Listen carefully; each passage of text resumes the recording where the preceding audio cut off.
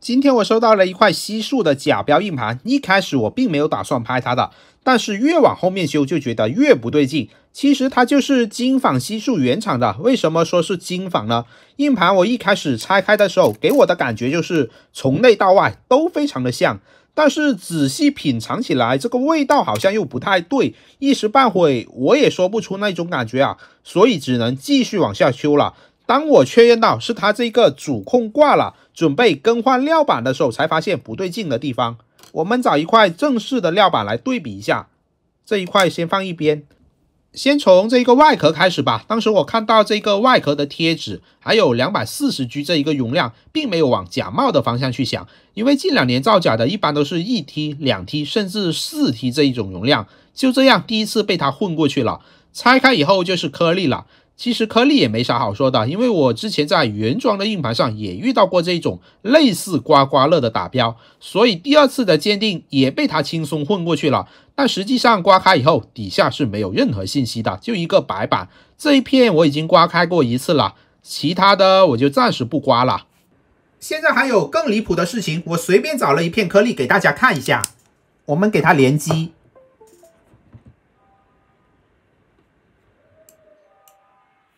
可以看到，上机以后，这一个颗粒读出来的是一片英特尔的 B17A 颗粒，单个容量六十四 G，这就进一步的坐实了这一块硬盘是假的。反正我是没有见到过西数用闪迪晶圆以外的颗粒。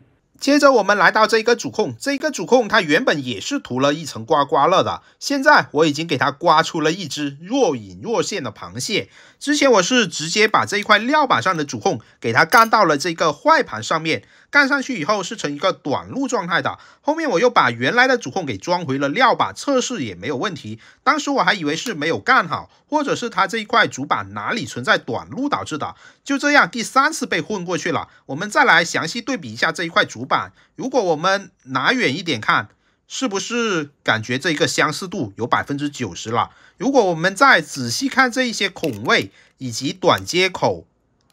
还有这四个颗粒的位置，以及这个电源部分，我估计这一块板子直接拿给售后自己判断，也不一定能一眼看出来。因为我最近遇到的山寨盘，基本都是像这种抹掉主控型号加黑色底板的，像这种光明正大的。而且还打上原厂 logo 的，我还是头一次见呐。说完了它的共同点，我们再来看一下它的细微差距。首先是这个山寨盘，它多了一个外置的 EP 路芯片。像这种外挂的 EP 路芯片，一般出现在螃蟹或者马牌的主控上面比较多，而原厂盘这一边是不带这一个芯片的。另外就是短接口附近了，金仿的这一个盘里面多了几个 LED 灯，而原厂盘这一边它是没有的。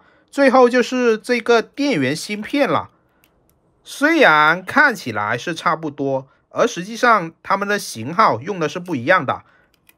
还有这些电容的大小，再来看一下外壳吧。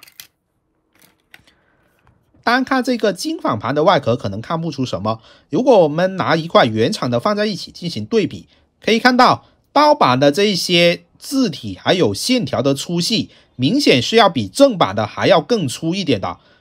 现在大家应该知道他为什么能把我也一起给骗进去了吧？毕竟谁会想到在一个两百四十 G 的小容量硬盘上面花这么大的心思去搞一个精仿嘛？这块盘完全可以说是除了这个容量是真实的以外，其余的都是假的。就连我这一个老司机都被他骗了。如果我早知道，就应该先去刮一下它的主控的。那这个主控的真实型号是什么呢？我这边刮出来的是 RTS 五七三二，这里的字体可能看得不太清晰。恰好当时我手上并没有这块盘的料板，所以我又花了几天时间，从二号技师那边高价把同款的主控料板给收购了过来。这块盘之所以能伪装成功，螃蟹的功劳功不可没啊！这种感觉就像是买雪碧买到了雷碧，买康师傅买到了康帅博一样。现在我们把料板上的主控给它干下来。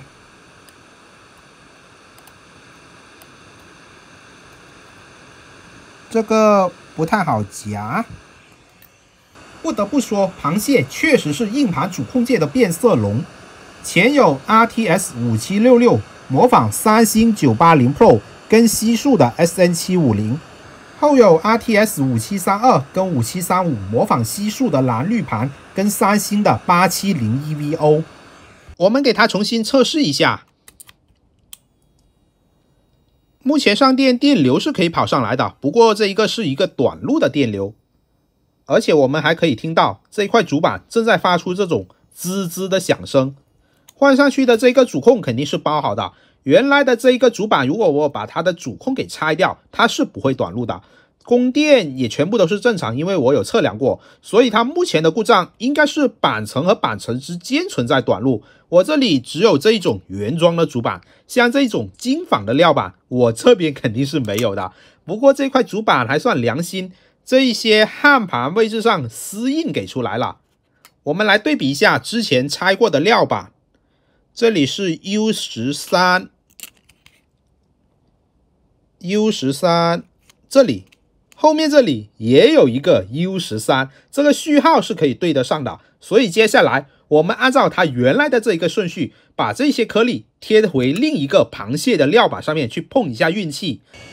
这些颗粒全部都是只有一个 C 的，理论上是不需要什么特别的 C 跳线。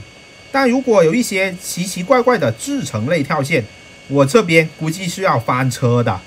现在我们来给它检测一下，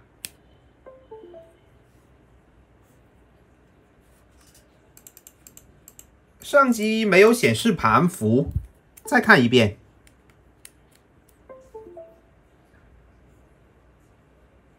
我们等一会，现在我这边等了有三四分钟，这个盘。整体上非常的烫，但是电脑却一点反应都没有。兄弟们，本来我是想直接轻松捡个漏的，可没想到这块盘又给我开了一个天大的玩笑。硬盘上电，它目前是呈一个大短路状态的。那它的短路来源于哪里呢？不是主控，也不是这些颗粒。咱们打开热成像看一下，